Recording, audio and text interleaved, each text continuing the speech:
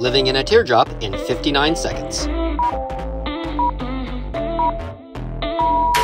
See what the weather is. Wake up when it's not cold.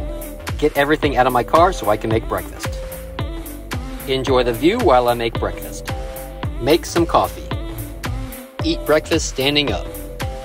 Start cleaning up after breakfast. Put everything back in the car. Use Atlas Obscura to find something cool to do in the area. Drive to said cool thing. Arrive at said cool thing and check it out. Use iOverlander to find places I can fill up my water.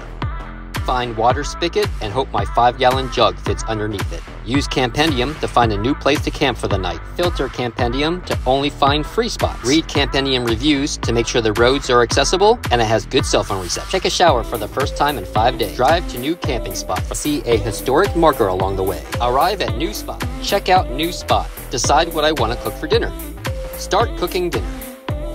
Have a beer and watch the sunset.